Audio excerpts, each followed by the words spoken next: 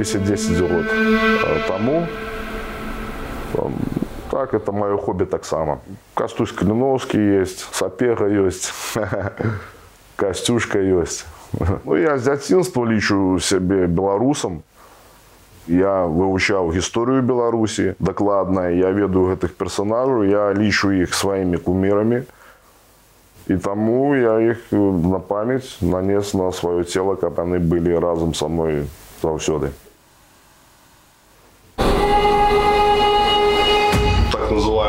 Работники ОМОНа в черном, когда они меня задержали, они уже были неприязненно настроены. А когда увидели татуировку э, «Живи Беларусь» и Костуся Калиновского в частности, сразу объявили, что это наш клиент. Да, и получал я побольше, чем другие.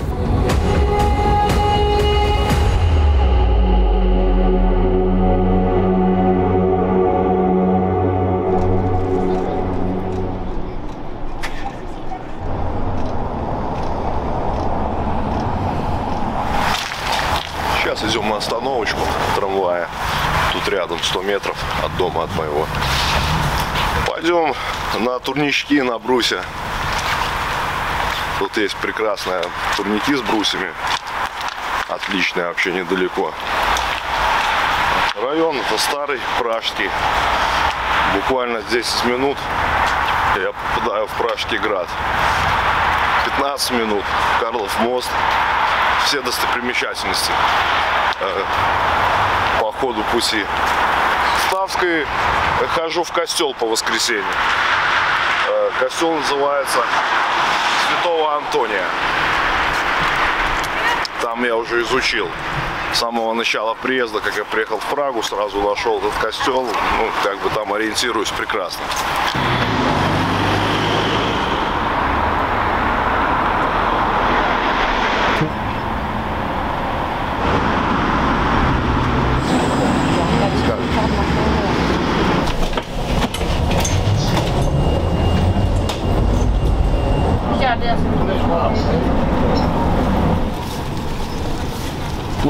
Ну а па ўсюднім жыцці я паследнія годы займаўся узмоцнена спортом. Як бы так, э, спорт был розный, розный турнік, штанга, бег, плавание, мультиспорт, мультиспорт. Я гэтым падтрымаў сваю фінічную форму і твой настрой. Свой настрой, як бы толькі, я кажу галоўна, толькі спорт мне памог да- да- перанесці гэтыя траўмы. Таму як, як збівалі людзей як мя- мяне, калі б не гэтая моя падрыхтоўка і маральная і фізічная, я б памёр бы там э, п- просто ад збіцця бы гэтага. Таму як брутальнае збіццё такое было, это ну, незвычайна, незвычайна. Толькі спорт. А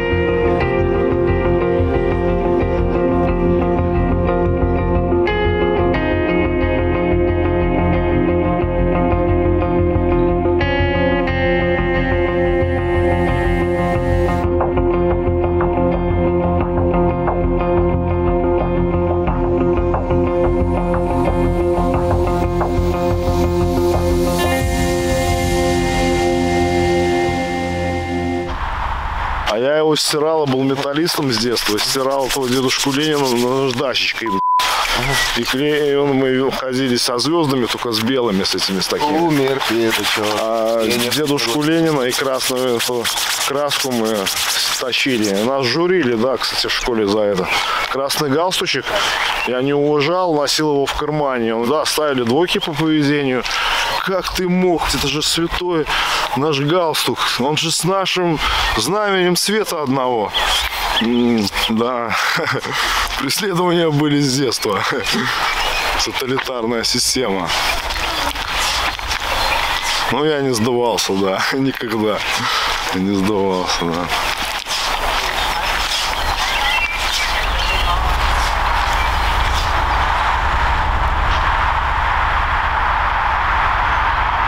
Да, я выхожу с 96 года, и за эти, за эти, так сказать, десятилетия я увидел, как регресс нашей милиции. Как действительно с порядочных офицеров, с чувством достоинства, которые были в 90-х еще, они превращаются в какую-то стаю беспринципных людей, которым вообще, ну, у меня нет слов даже, да, да. Слово офицера, когда стоило это очень дорогого раньше, сейчас это уже, ну, в Беларуси сме, смеются, когда человек, когда милиционер говорит слово офицера, ему уже не верят, они компрометировали себя. Последний 20 год поставил все точки над «и». Я и раньше подозревал, и со многими спорил белорусами. Ну, вот эти августовские события всем наконец-то открыли глаза, кем является у нас, у нас милиция.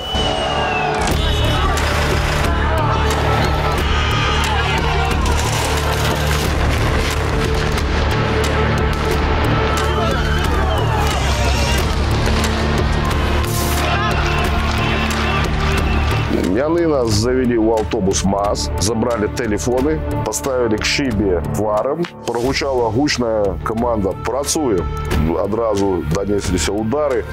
Дубинками, ногами, руками звалили нас на подлогу. Подсекла с меня кровь, пробили голову. Потом они спынились, выволокли меня уже с автобуса этого в автозак и посадили в особную камеру, потому что я был весь-весь в крови. По команде нам было треба с этого автозака выбегать и бежать у Раус. У них был этой, и они били так само з усіх боков. Потім поднимались на третий поверх, мы на пролетах стояли э, так само опера и били так само яны. Подо мной уже была великая лужина крови. Подошел до меня молоденький оперник милициянт, дал мне воды и спытал меня, может худку вызвать? Это меня и выратовало. Як бы один милициянт, он вывел меня на улицу, где мы чекали. Когда приехала хуткая допомога, мне перевязали одразу голову, посадили у худку и поехали э, в городскую больницу, нейрохирургичное отделение. Мне зашили голову, наложили 4 швы, положили у шпиталь, у это отделение. Хотя милициянт потребовал, чтобы меня зашили и отдать ему, как вести меня, ну, у СИЗО, там, у вязницу в эту.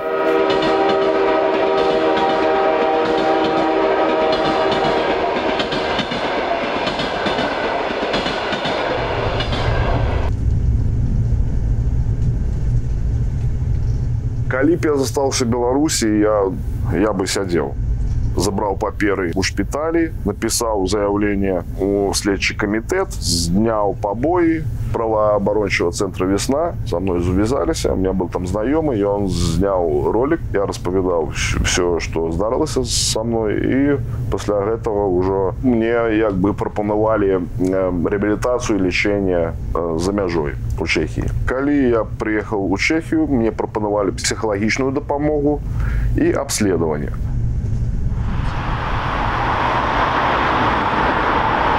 Я тут у празе адчуваюся вельмі спакойна. Мой стан псіхалагічны таксама аднавіўся. Я ведаю, што мне не будуць грукаць больш у двері кожны дзень ні за што. І все вельмі добра у мяне зараз.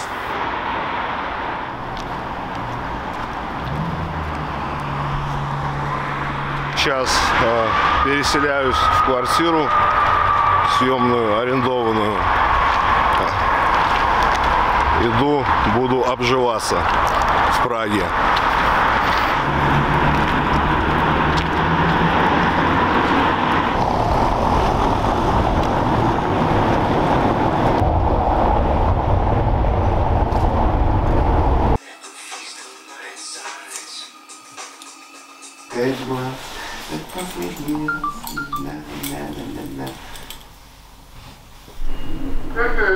Як це іменує Татінек Мартіна? Татіне, Татінек Мартіна це іменує Євжен. Евжен. Евжен. Евжен. Угу. Это как-то связано как Евгений или нет? Ано. Ён наш, ён нашов а, бра, братранец. Вот это дети нет.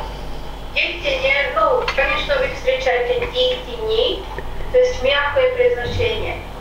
С Виталиком я познакомилась так, э, что в 2020 году, когда мы пришли на белорусскую тусовку э, на природе, э, на костерчик, э, там были ребята, которые приехали на программу Медевак чешскую, и там я с ними и познакомилась. Я работаю в школе, э, я педагог, и я учила белорусов, которые приехали сюда, чешскому языку. Делала я это на добровольной основе, как волонтер. И надо сказать, что Виталий меня поразил э, сразу с его подходом к учебе, потому что у Виталия есть одна очень крутая черта. Он очень упертый студент, он очень много учится, он очень старался выучить чешский язык. Э, часто мог что-то забыть, что у него из головы вылетело, он повторял, он э, снова и снова пытался практиковать чешский, он не боялся говорить на чешском сразу. То есть языковой барьер, он вот как-то со своей психологией он преодолел очень быстро. То есть он не боялся делать ошибки, как очень многие люди.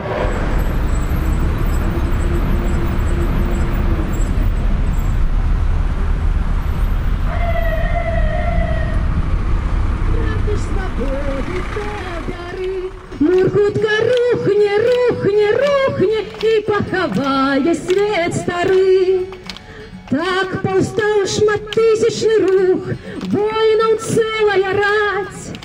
Можна помнікі зносіць і прух, і камень разбіраць.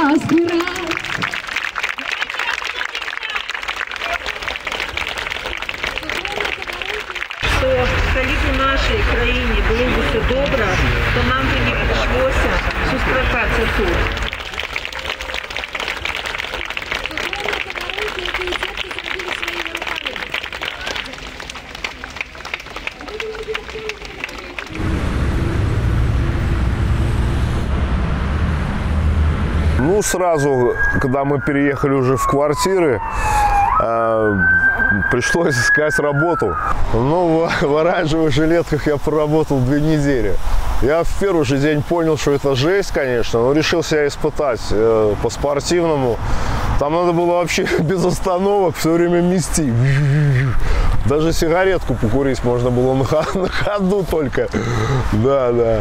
А, еще и покрикивал этот э, мастер. Но на меня, слава богу, не покрикивал. Покрикивал на остальных рабочих, которые исполняли, кстати, нормально свою работу. Блин. Ну, я ну, возмутился, остановил его, чтобы он сказал, как смог. Объяснил ему, чтобы он не krичал на людей. Ну и меня уволили, понятное дело. Já potřebuji, by se vymetal tyhle ty kouty kolem těch hlaviček. Jo, a takhle, to jinak to veme to auto, to je zbytečná человеку сделать. No, nevím, já přijedu a vidím to a prečel bych.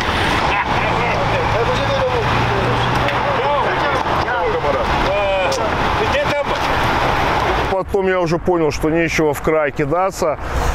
Э, Передохнул лето, э, как бы. И потом у меня была знакомая, она снималась в эпизодах э, в массовке, это называется компарс, э, в чешских и не только чешских фильмах.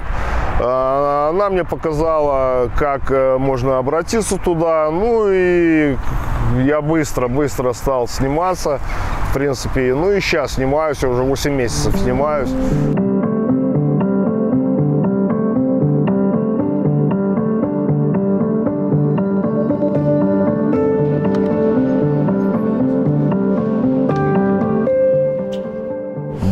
У меня даже эпироли. Эпироли. Это до 10-15 секунд даже бо- больше я вхожу в кадр. Но если мы снимаемся в массовке, то естественно, там есть проекты огромные, там несколько, даже сот человек участвует сразу в съемке. А есть небольшие, несколько человек. Э, Специфика разнообразная, но главное интересная. Интересная. В основном играл я и докторов, и солдат. Да нет, за 8 месяцев я уже даже не перечислю. Там ну, всех, всех, кто в кино снимается, я всех и переиграл. Полицейских, бандитов, солдат, э, труп, все что угодно. Да, да. Ну, это интересно. Это на самом деле интересно. И, э, и, естественно, ты общаешься с сотнями людей, и у тебя из них есть уже знакомых, э, с которыми здороваешься, тоже можешь поговорить э, и узнать новости, и тот же чешский подтянуть.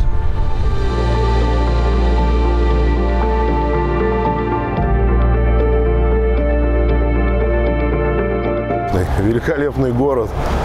Э, Я в приятном шоке до сих пор, хоть уже прошло уже больше года. Прекрасный. Очень мне нравится. И каждый день у меня прекрасное настроение. И было бы оно вообще замечательно, если бы не мысли о моей родине бедной. А Прага это, это город там, наверное, мне и надо было бы жить давно уже. Прага е надгерна.